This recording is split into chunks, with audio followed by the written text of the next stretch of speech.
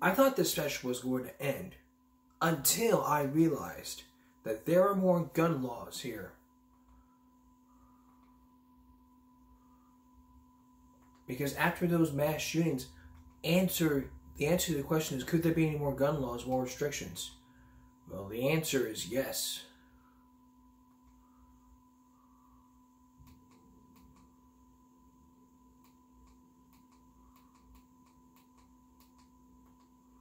So let's take a look at a uh, at a gun violence protest.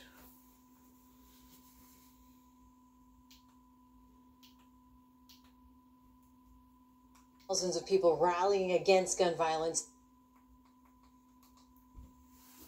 Tens of thousands of people rallying against gun violence over this weekend, part of the National March for Our Lives protests. WCNC Charlotte's Jesse Pierre sharing more from local demonstrations and also spoke to people who say they want lawmakers to take action on gun safety legislation.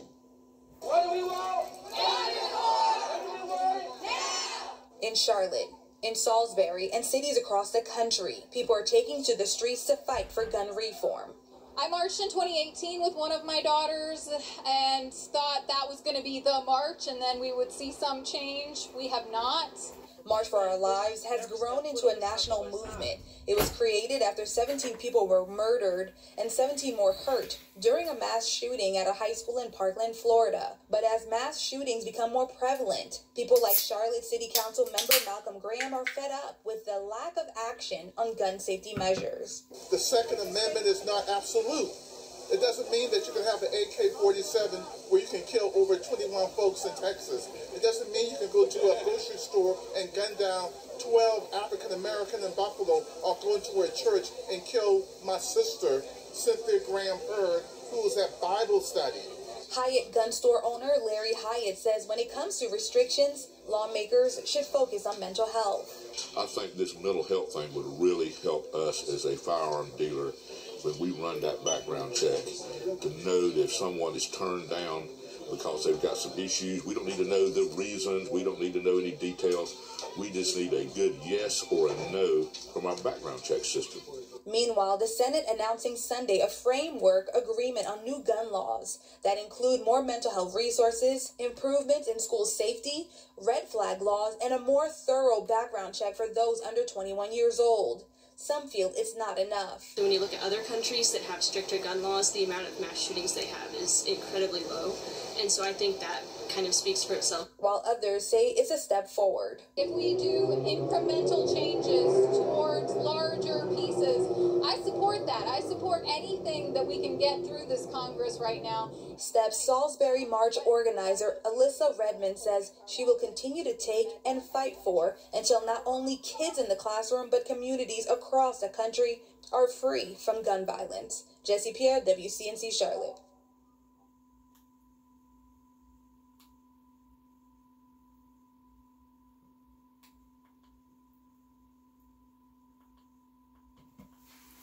And let's look at those states that have those. Let's look at the states that have gun laws and those that don't.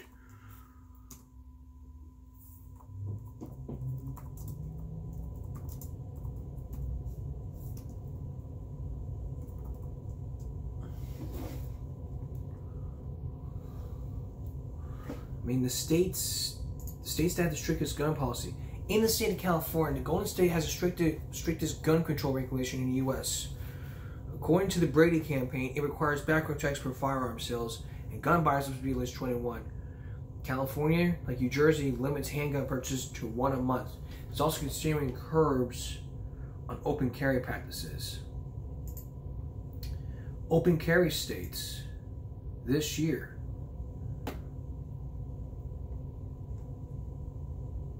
Arizona has the open carry allowed, carry guns allowed. Texas, unknown. Louisiana, carry, open carry is allowed. Black, restriction, not permitted, not prohibited, not prohibited. In uh, Virginia, Alabama, New Ham- New Mexico, and Washington, open carry is allowed. Open handguns restricted, not prohibited. But the green ones are allowed, like uh, Delaware, North Carolina, West Virginia, Ohio, Michigan, Wisconsin, South Dakota, Wyoming, Nevada, Idaho, Montana, Arizona, Kansas, Kentucky, Connecticut, these gray ones, they don't have the unknown.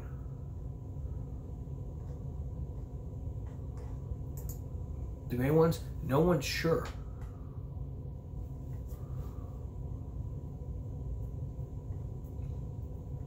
So do there does there need to be more firearm laws? Exactly.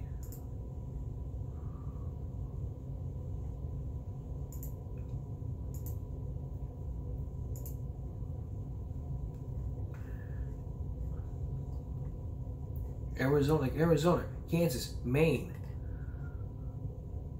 This is according to, to USA Today. Vermont, Wyoming, like like we talked about here. This is from USA Today. When you have let when you have when you don't we have when you have weak gun weak gun restrictions, you're obviously going to have another mass shooting happening, and by that time, it's going to be too late. Things have got to change.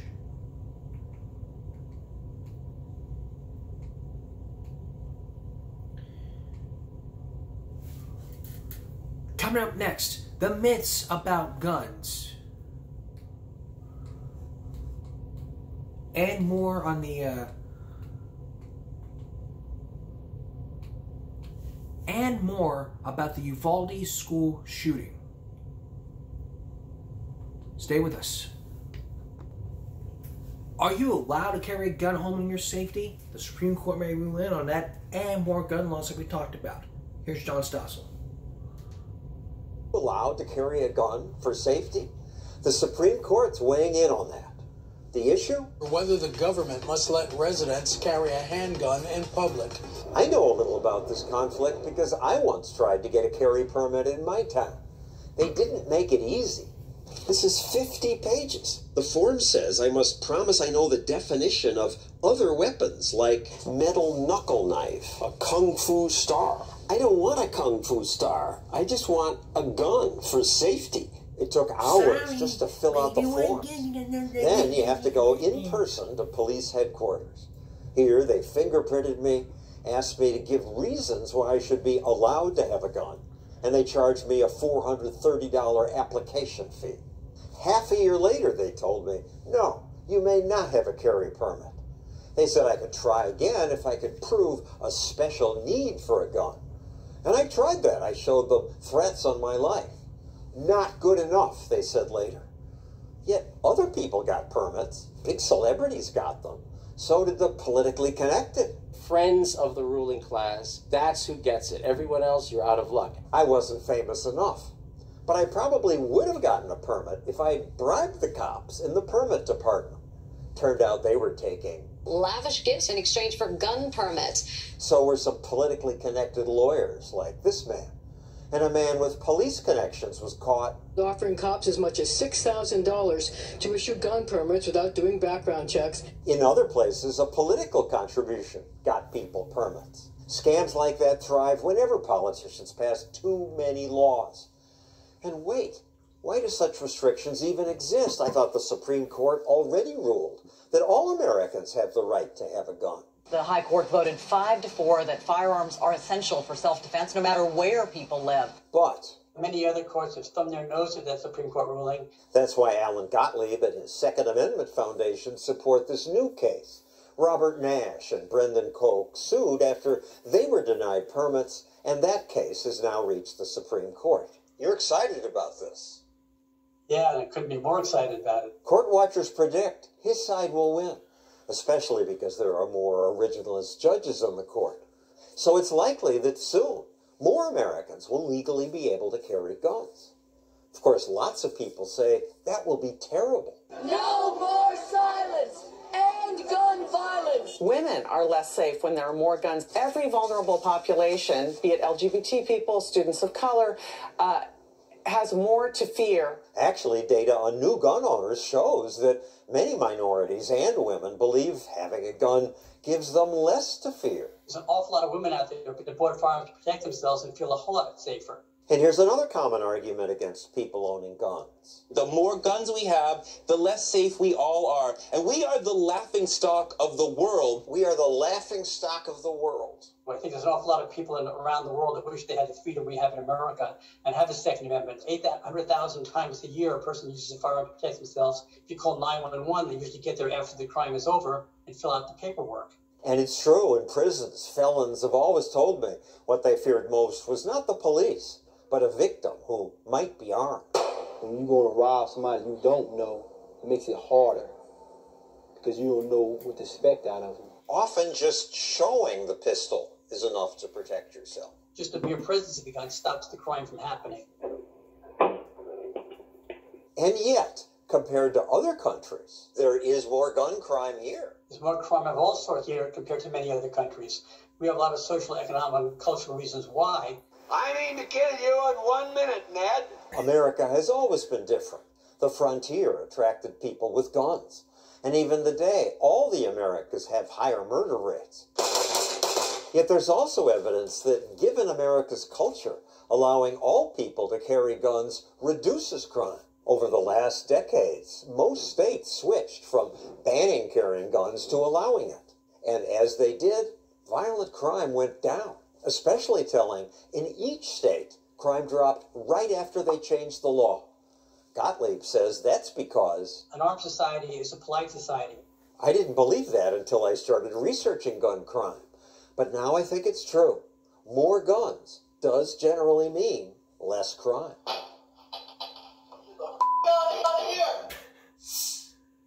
And that's true.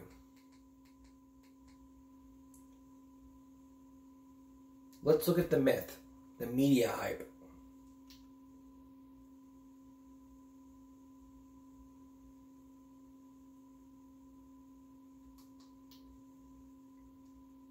For more than 40 years, 1966 to 2000. Probably heard that America has the most mass shootings in the world. That's often given as a reason for more gun control. But economist John Lott looked into that claim, and he says it's a myth based on one bogus study. The United States has the most mass shootings. By far, the most public mass shootings. You don't see murder on this kind of scale with this kind of frequency in any other advanced nation on earth. Where did that claim come from? Obama and everyone else base it on. A study done by University of Alabama professor Adam Lankford. University of Alabama professor Adam Lankford. This is Adam Lankford. I studied 171 countries for more than 40 years, 1966 to 2012.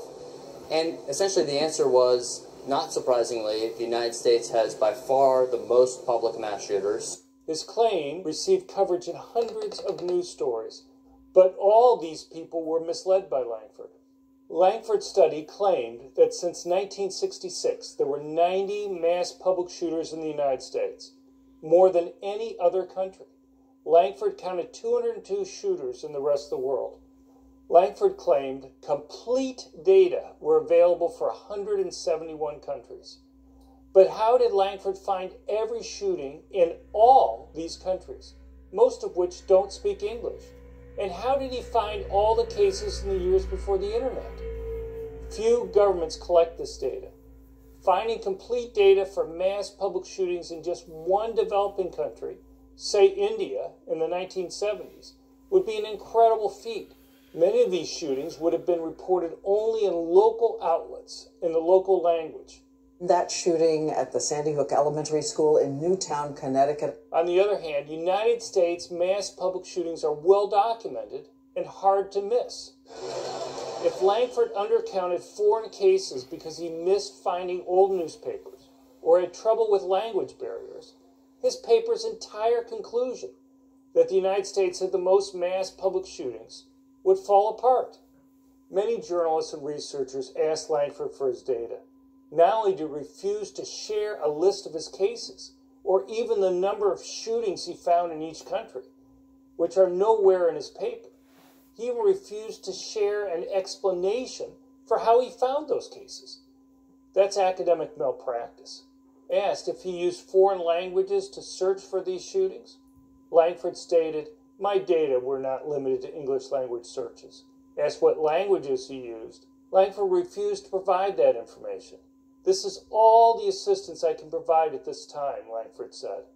Look, I've researched crime for decades, and I've published dozens of peer reviewed academic articles on the subject. Lankford won't even respond to my emails with simple questions. Now, maybe he doesn't want to talk to me because I'm well known for my research more guns, less crime. But Lankford has refused to share his list of shooters and methods, even with strong gun control advocates. This all seemed very suspicious to me. So the think tank that I run, the Crime Prevention Research Center, researched it. Unlike Lankford, we took a lot of time to find all the foreign cases we could. We even got translators to identify cases.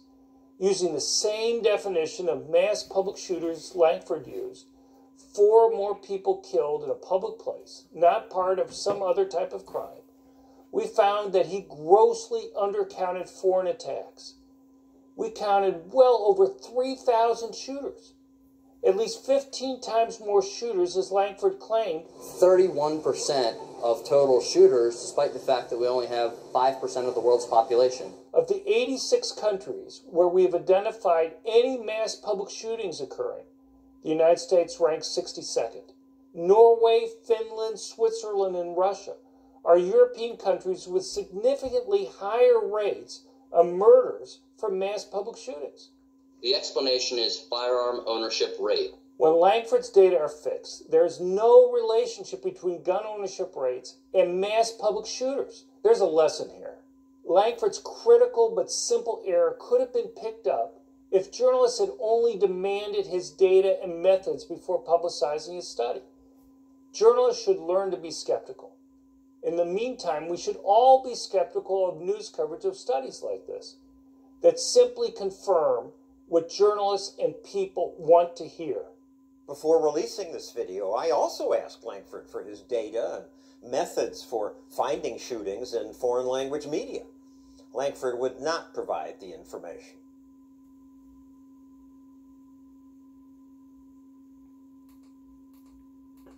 Wow. When we come back, we're going to take you to a restaurant that allows open carry in Colorado years after that mass shooting in uh, Columbine High. Don't go away. Bringing up to speed here on Uvalde here. After the Uvalde shooting, parents feel there is no safe place to shoot. As mass shootings assist in fatal action safety stall, gun safety stalls, concerned parents are making drastic changes how they raise their kids. The violent tragedy with 19 student seizures didn't happen the same way as the shooting in the supermarket in Buffalo, New York, Dallas, and a church in Laguna Woods, California.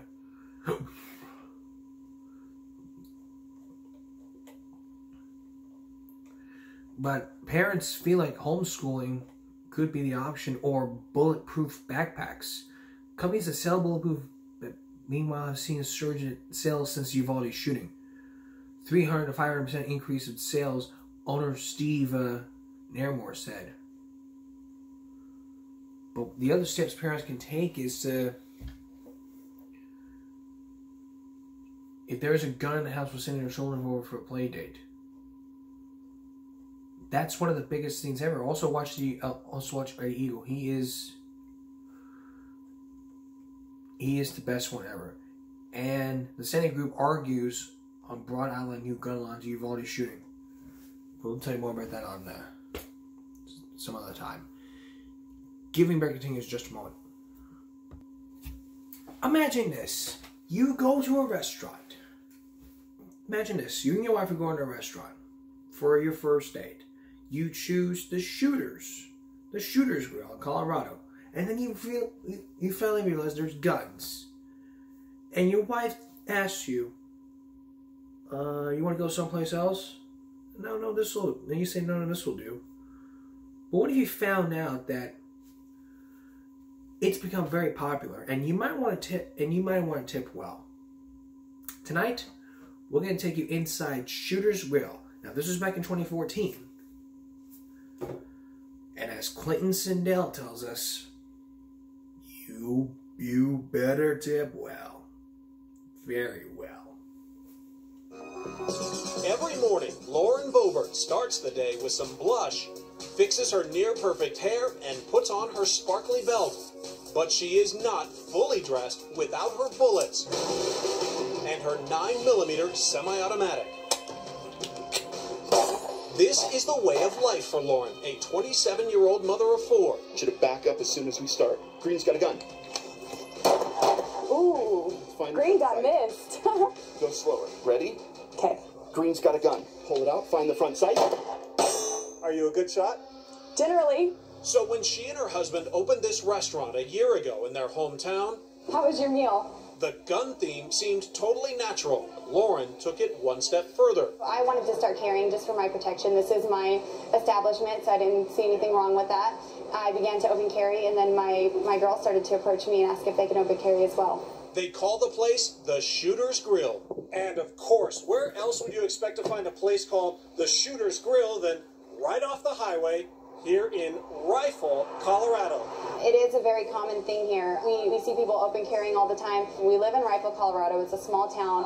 It's a rancher's community. It is like the Old West out here. Nightline ventured to Colorado's western slope to check it out. Inside, the place is packed, and the waitresses packing. What is this? Uh, it's a Ruger 357 Black Hawk. Good kick? I mean, is it? Uh, it's, it's got a pretty hard kick, but nothing that I can't handle. And they are fully loaded. Does anybody dare leave a small tip? They still tip like normal people, you know. So I mean, it's not like we're gonna shoot them or anything if they leave us a small tip. What's happening at the Shooter's Grill is an offshoot of a controversial movement started in Texas to legally and openly carry guns in stores and restaurants. This is probably the safest corner in San Antonio right now. But a growing number of national chains like Target, Starbucks, Chipotle, Chili's, and Jack in the Box have asked customers to leave their weapons at home. This has only enraged the open carry movement. But here, the concept is turned upside down. Instead of armed customers, it's the employees. I have a right to carry my firearm, and I'm going to carry it. Or most of them. You're not carrying. Right. Why not? Uh, because I don't own a gun. I wish I did, but Are you the only person in here that doesn't own a gun? no. There's a token her. So you, you're, you're the two holdouts. yep. We're Okay. getting there. We haven't jumped on the bandwagon yet. Okay. All right. Why not? 17. Okay. The grill is so popular. We're from Nashville, Tennessee. Food sometimes sells out. But most people we met didn't come hundreds of miles for the burgers. We're from Nebraska. Featuring names like the Guac 9 or the Swiss and Wesson. What made you want to come in? The guns. The guns. I firmly believe that education and safe and responsible use of a firearm is perfectly fine in today's society. But is it all just a gimmick? My firearms have nothing to do with the amazing hamburgers we cook. Actually, um, the food that we cook is, is what started all this. Over the past few weeks, Lauren's restaurant has gotten so much attention that a U.S. Marine supposedly called in with an offer to buy a gun for any waitress that didn't have one. He called in from California and asked our owner if there was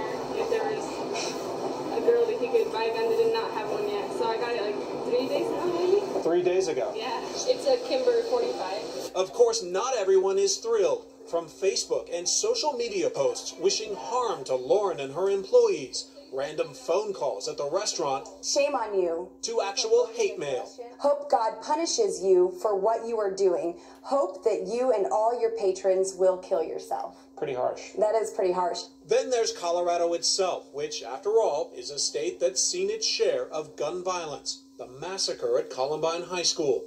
That was the weekend before he was killed. And two years ago, Dave Hoover lost his nephew A.J. Boik at this Aurora movie theater. 2.30 that evening, went to bed, and Teresa called, my sister. She calls, screaming on the phone. I picked it up and I said, what's, what's going on? What's wrong? What's wrong? She says, I don't know where AJ is. I said, he's at the movies. She says, turn on the TV. Get up, turn on the TV. And that's when it hit me. I went, oh, my God. AJ was one of the 12 people killed that night. Hoover argues the shooter's grill is glorifying gun culture. This is America. They're allowed to do that. But you can't glamorize the gun. The gun will never be a glamorous thing. It's just an object. Hoover has been in law enforcement for three decades. He worries that when shots ring out, more guns equals more confusion for police. I don't know which one's the bad guy, which one's the good guy. I know I'm going to engage the most, the one that's closest to me, and I hope to God that's the bad guy. You never know. People in Colorado, for example, like Aurora families, like Columbine families, who think that this is sort of a normalization of guns in America, which has got this violent undertone to it. hmm What's violent about it? What's violent about law-abiding citizens carrying a gun? A lot of people don't want to be around firearms, don't want their families around it. This is not necessarily normal everywhere. I think it should be normal everywhere. Yeah. You know, I think it should be a common sight, and I think we'd have a lot less violence if it was. Lauren insists her employees and her customers are safe. I'm more worried about my cooks getting burnt in the kitchen than a firearm going off in the restaurant.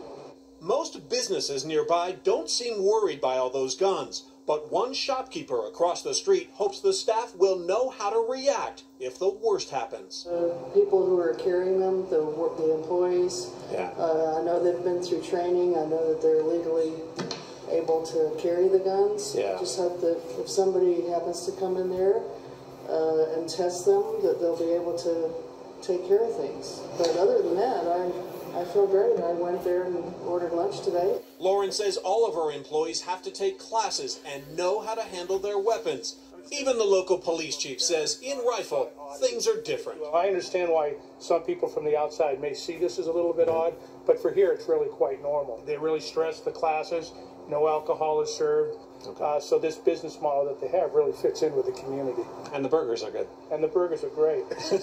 All the national attention and nonstop business, not only for the restaurant but for Rifle, has Lauren considering a possible franchise. It sounds exciting. Um, maybe we would get a couple more restaurants going before anything, but um, there's there's been a lot of talk of it. A lot of people calling. A lot of people even demanding it, and um, it, it's it's actually kind of honoring that somebody want a piece of what we have. Lauren and her Shooter's Grill plan to keep on serving seconds right along with the Second Amendment. People call in all the time and tell me that this is not normal where they are, and they would never patronize a restaurant like this. And I say thank you for your opinion. God bless you. I'm Clayton Sandell for Nightline in Rifle, Colorado. And if there was a Shooter's Grill here in Corpus Christi or anywhere in Texas, it would be a Give Me a Break first. Think about it. Give Me a Break live from the Shooter's Grill. That would be history. But there's no history in the school threats. When we come back, has there been any more school threats ever since Uvalde? Actually, we're going to say that for Monday. When we come back, there is more bullying going on. And, as part of the Stop Bullying Speak Up, the 31st member has come on. And I'll give you, I'll give, I'll announce that when we come back. One of my main goals throughout this show is two things. One, education, and two, to stop bullying, speak up. That is the main goal in this show, which is why I created a Facebook group, part of my show. But something happened a few weeks ago. In Wentzville, the parents come forward after a viral video of bullying sparked rage. It was an incident happening in middle school. The video sparked parents to push school leaders to do something about it, not sweep it under the rug. You feel Watch. anger, you feel hurt, disgust. Um, for a school district to allow something like that to happen and not intervene. And some parents say this isn't a one off incident. Jenna Ray hears from some who say bullying in Wentzville schools runs deep. Sam, for the past 24 hours, parents on social media say they're embarrassed and downright infuriated with the district. This all stemming from a video showing a bullying incident inside Wentzville Middle School yesterday. We spoke with parents involved in the situation and others who claim the district has been sweeping bullying under the rug for years. One student dumping chocolate milk on another is just the beginning. 21 seconds go by without a single staff member intervening. For a school district to allow something like that to happen and not intervene right away or be aware that situations that are occurring are just, it's mind baffling to me. Melissa Allen and Paul Tripp's daughter, Beata, is in the red shirt. This isn't the first time and it's, I've gotten calls from him once a week for the last couple of months. Two weeks ago, She accidentally stepped on a girl's shoe. The girl punched her in the head over and over again as she ran down the hallway. Allen and Tripp say they've been to Wentzville Middle and talked to school leaders several times about ongoing bullying involving their daughter. The video from Tuesday, which has been posted on social media, caused a stir among Wentzville parents, many saying the school hasn't taken bullying seriously for years. Here's the messages. It's time we start going to board meetings, town halls, where taxpayers are to a prime example, of school leadership swinging over this, need answers. Assaults in this college camp, kids need to be expelled. Voice your concerns in the school district. There's just not enough discipline for the minor stuff. It's leading to bigger issues. When I saw that, I, you know, I, I posted it and said, I guess things aren't changing. Patrick Vining has a junior at Wentzville High School. In 2019, as Vining's son Ian sat on the floor of his eighth grade classroom, this happened. Oh, As a parent, nobody wants to see their child put through that. Vining says he got an attorney involved because the school wasn't taking the incident seriously. Now he, Alan Tripp, and other parents are begging school leaders for change. What's not going to work is to try to badger the parents or, or push something down that's not happening. We need to bring this to light. We need more people to come out and share their stories. I just hope the proper, proper measurements are taking to just keep our kids safe. Tonight, we learned the parents we spoke with are pressing charges against the student who poured milk on and repeatedly punched their daughter. School leaders were not willing to do an on camera interview with us this afternoon. Instead, they sent us this statement in part saying, We do not tolerate this type of behavior in our schools. Our team has completed an investigation and appropriate discipline has been given. I'm Jenna Ray for News 4 tonight. Hmm.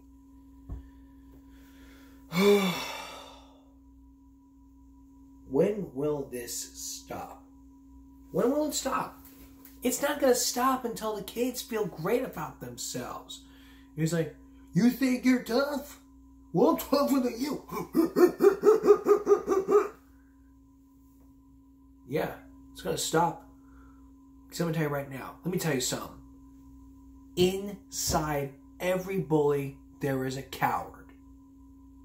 I'm talking to you. You better listen. Inside every bully, there's a coward. And now looking back at our now looking at our group, one person who joined the group posted something on here. Her name is Lisa Ladifa. Ladifa. I can't pronounce her name. She's she's with the She's with Teen Leadership. He's a, he's she's a director of the Teen Leadership Cho- Director Choice Center, and and I think it would.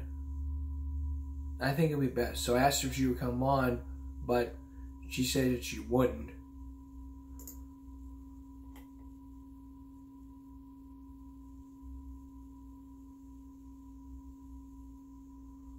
So we're gonna have I'm gonna have her on in three weeks.